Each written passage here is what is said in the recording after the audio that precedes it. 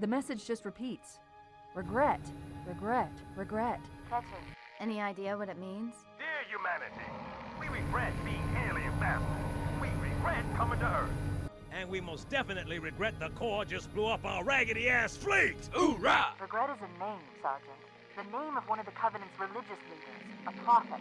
He's on that carrier and he's calling for help. Immediate. Grid Kilo 2-3 is hot. Recommend mission abort. Roger, Recon. It's your call, Sarge. We're going in. Get tactical, Marines! Master Chief, get aboard that carrier. Secure the Prophet of Regret. This is the only place on Earth the Covenant decided to land. That prophet is going to tell us why. 30 seconds out. Stand by to... Whoa.